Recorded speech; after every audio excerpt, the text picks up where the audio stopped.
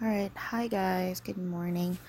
Um, I know that Facebook recently changed their um, um, interface and uh, we've lost the schedule now option when posting. Uh, like, for example, if you go to Facebook and you go to your page and you create a post, um, right?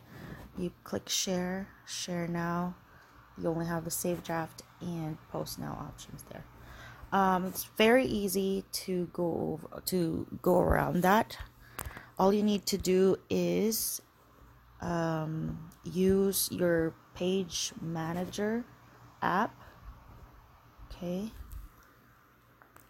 So while while you're using your page manager app, just um, create your post. Um, let's. I'm gonna use uh, uh this one that I created uh, just now. So if uh,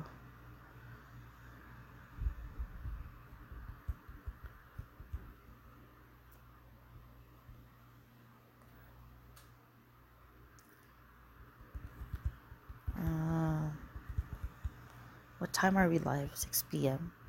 MST. 8 p.m. Oops. EST. Actually, you know, I'm gonna edit that caption. I just want to say more. Um, but anyway, so click next. And how do you want to publish this? You click na- click that, and you've got the schedule there. So let's schedule it for. Let's go with 11 a.m. I'm gonna edit that first. So and then you have the schedule there on the upper right side or upper right corner. And voila, you've got that scheduled already. Um oh. Yeah, you've got that scheduled.